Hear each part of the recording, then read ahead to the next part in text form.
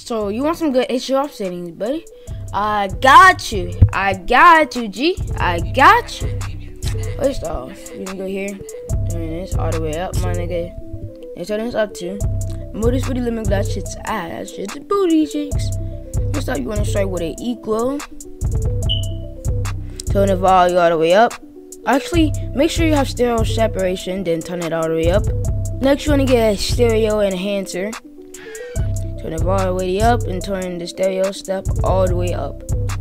Next, want to get a effector. And you can turn this all the way up too. Turn the gain all the way up. Turn this right there. Make sure the bypass is off. Next, you want to get a stereo shaper. Turn this all the way up, turn this all the way up, turn this all the way up, turn this all the way up, turn this to the right, just like that, turn this to the left, like that. Actually, turn this like to some more. Make it like kind of like even, kind of. Next, we're gonna get a 3D reverb, and trust me, it's gonna work well. Make sure to dry, the eater, I don't know, cover that shit's all the way up. I mean, all the way down. Make sure the wetness is all the way up. Make sure the size is all the way up. Make sure the step is like that. Next, we're gonna get two 3D balances.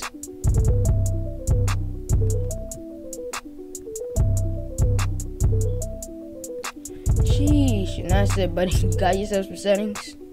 And use these with record and it'll be loud. Trust me, it's gonna get you on the loud list.